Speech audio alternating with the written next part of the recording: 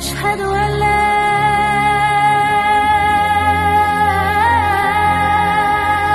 إله إلا الله.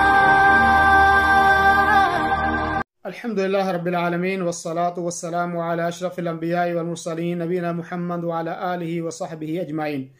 تمام تعریفیں اللہ رب العالمین کے لیے ہیں اور نبی کریم صلی اللہ علیہ وسلم پر درود و سلام نازل ہو۔ جیسے کہ آپ جانتے ہیں کہ جنت میں لے جانے والے اعمال کے سلسلے میں درس چل رہے ہیں اور آج جو ہے وہ انیسواں درس ہے۔ انیسویں درس میں اس چیز کی وضاحت ہے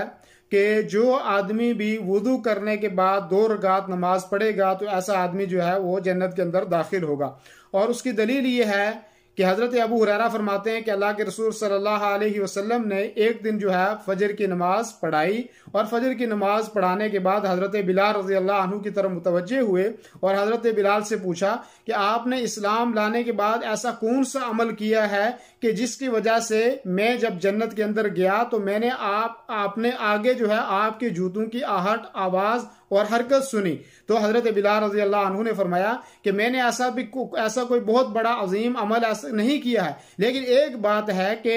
جب بھی میں وضو کرتا ہوں، انی لا اتطہر طہورا تاما فی ساعت من لیل او نہار الا صلیت بذالک طہوری ما کتب اللہ لی ان اسلی کہ ایسا تو میرا کوئی بھی بہت بڑا عمل نہیں ہے، لیکن جب بھی میں دن اور رات میں کبھی پاکی حاصل کرتا ہوں اور اس کے بعد جو ہے میں مکمل جو ہے وضو کرتا ہوں اور اس کے بعد جو مجھ سے ہو سکے، میسر ہو سکے، میں نماز پڑھتا ہوں۔ یعنی وضو کے بعد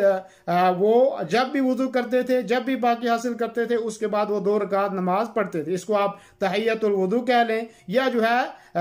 وضو کی دو رکعت پڑھ لیں۔ تو کہہ لیں۔ تو حضرت بلال جب بھی وضو کرتے تھے، تو وضو کرنے کے بعد آپ ہمیشہ جو ہے وہ دو رکعت نماز جو ہے وہ پڑھا، نماز بعض روایتوں میں آتا ہے ہے کہ نماز آپ پڑھتے تھے یعنی جتنا ہو سکتا تھا آپ سے اتنی نماز جو ہے وہ پڑھتے تھے۔ تو اس سے اس چیز کی وضاحت ہوئی کہ جنت میں لے جانے والے اعمال جو ہیں اور جو اسباب ہیں، ان میں سے ایک سبب یہ بھی ہے کہ جو آدمی وضو کرے گا اور وضو کرنے کے بعد جو ہے وہ نماز پڑھے گا، تو ایسا آدمی جنت کے اندر داخل ہوگا۔ اب اس روایت میں کہ اللہ کے رسول صلی اللہ علیہ وسلم نے فرمایا کہ میں نے حضرت بلال کے جوتوں کی آہٹ سنی آپ نے آگے۔ تو امام ترمیزی رحمہ اللہ نے اس چیز کی وضاحت کی کہ اللہ کے رسول صلی اللہ علیہ وسلم نے شاید خواب کی حالت کے اندر جو ہے ان کو جنت میں آپ نے آگے دیکھا اور ان کی آہٹ سنی۔ اور اگر خواب کی حالت میں بھی سنا تو یہ بھی حجت ہے اس لیے کہ انبیاء علیہ السلاۃ والسلام کی خواب جو ہیں وہ وہی کے برابر ہوتی ہیں وہی کے درجے کے اندر ہوتی ہیں۔ تو گویا کہ